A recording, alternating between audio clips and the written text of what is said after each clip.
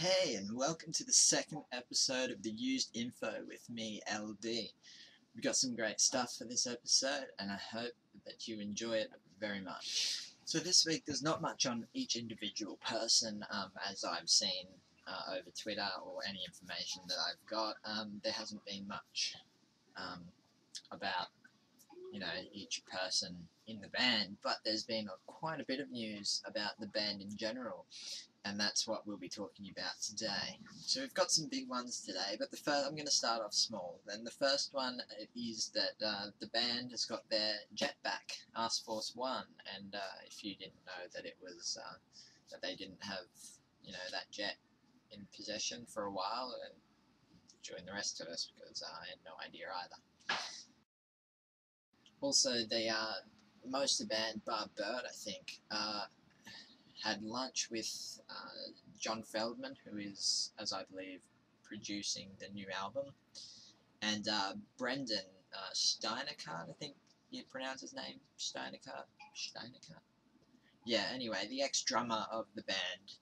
Um, yeah, that just goes to show that they're still great friends with Branden. And it's good to see them out, you know, having lunch with him and, and you know, just, just mingling with, with past friends, and, and obviously they're still good friends, so yeah, it's good to see. Also, Dan Whitesides has just been to uh, Virginia on holidays to see his wife's family. Um, he went to a place called Park Maymont, or Maymont Park, um, and uh, posted a picture. I'll show it in a second. Uh, quite a beautiful place, and it's good to see him out with his family, uh, just you know, chilling, having some family time. So here's the big two. First of all, the used has got three demos done and dusted, and uh, apparently they sound great. And if they think they sound great, then we're going to think they sound freaking amazing. So I'm pretty excited about that. And uh, the big one, the very big one, the one that I myself am ecstatic about, the used is coming to Australia for Soundwave Revolution.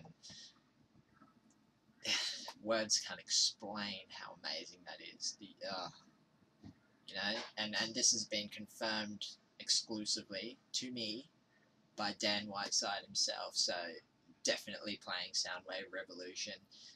And uh, so when tickets come out, Australians just just just go and buy them because it's going to be freaking amazing. So.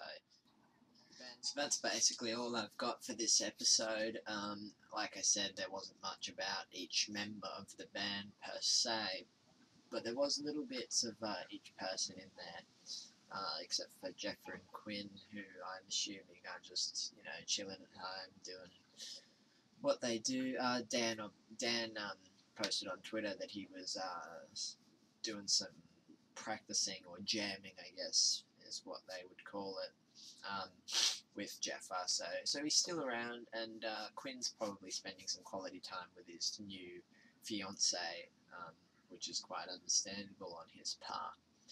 But um, yeah, that's all I've got for this episode, and um, I hope you like it, and I hope you're as excited as I am about uh, you know, uncovering a couple more mysteries about the uh, the used, and um, yeah, make sure you, uh, even if you're not in Australia, um, for our Soundwave Revolution, um, you know, from New Zealand or, or, if you've got the money, yeah, America, um, you know, it's, it's a great festival, it always is.